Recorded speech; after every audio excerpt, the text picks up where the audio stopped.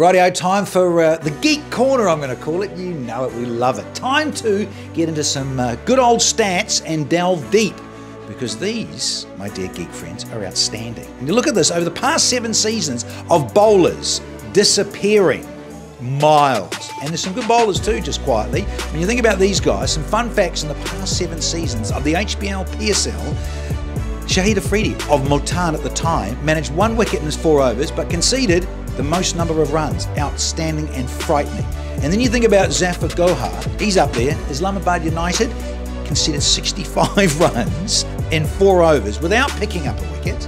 And then you think of now the very talented, the very exciting, and the very useful Shaheen Shah Afridi of Team Lahore Qalandars took one wicket in these four overs, disappeared for 62. How interesting is that? That is just obscene when you think how good those bowlers are in HBL PSL.